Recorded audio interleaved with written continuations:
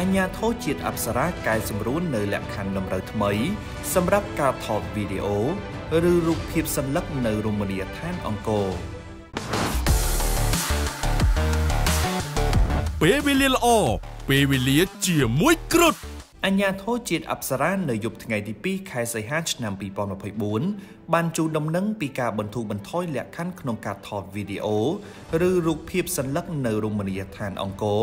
ដោយចេញគោលការណ៍ថ្មីសម្រាប់ការថតដែលពុំចាំបាច់សមច្បាប់ និងការថតដែលតម្រូវឲ្យសមច្បាប់ បើតាមសេចក្តីជូនដំណឹងក្នុងគោលដៅបង្កភាពងាយស្រួល ក្នុងការថតវីដេអូ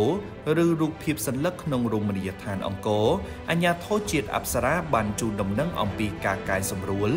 នៅលក្ខខណ្ឌតម្រូវថ្មីមាន3ចំណុចដូចខាងក្រោមករាល់ការថតក្នុងគោលបំណងបម្រើឲ្យអាជីវកម្មតម្រូវឲ្យដាក់ពាក្យស្នើសុំនិងត្រូវបង់ប្រាក់ដែលរួមមានដូចជា1ការថតភាពយន្តខ្នាតធំតូចគ្រប់ប្រភេទ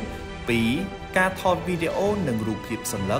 ដើម្បីផលិតចម្រៀងកាយវិការ កម្មវិធីកំសាន្តវីដេអូឯកសារ sport ពាណិជ្ជកម្មសៀវភៅមេកាទេសការបោះពុម្ពកាតាឡុកនិងទស្សនាវដ្តីជាដើម សម្រាប់ការផ្សព្វផ្សាយទាំងលក្ខណៈក្នុងស្រុកនិងអន្តរជាតិ3ការថតវីដេអូនិងរូបភាពសញ្ញាដោយឧបករណ៍ដ្រូន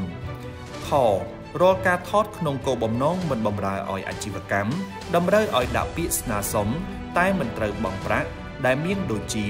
ការថតរបស់អង្គភាពសារព័ត៌មានផ្លូវការ ទាំងក្នុងនិងក្រៅប្រទេស ក្នុងគោលបំណងផ្សព្វផ្សាយ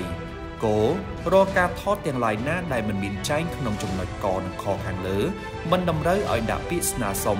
និងមិនចាំបាច់ត្រូវបង់ប្រាក់ដោយរាប់បញ្ចូលទាំងការថតផ្សព្វផ្សាយក្នុងប្រព័ន្ធបណ្ដាញព័ត៌មានសង្គមដូចជា Facebook YouTube TikTok ដោយទូរស័ព្ទដៃឬម៉ាស៊ីនថតផ្ទាល់ខ្លួននានានិងការថតរូបក្នុងសម្លៀកបំពាក់អាពាហ៍ពិពាហ៍ឬសម្លៀកបំពាក់ប្រពៃណីជាតិឬអន្តរជាតិសម្រាប់ការចងក្រងជាអនុស្សាវរីយ៍ផ្ទាល់ខ្លួនអញ្ញាធិជាតិអប្សរាក៏បានភ្ជាប់ជូននៅតារាងសេវានិងតារាងតម្លៃសេវាពាក់ព័ន្ធថ្មីរបស់អញ្ញាធិជាតិអប្សរាដែលនឹងត្រូវអនុវត្តចាប់ពីថ្ងៃជូនដំណឹងនេះតទៅផងដែរ ពេលវេលាល្អពេលវេលាជាមួយគ្រុឌ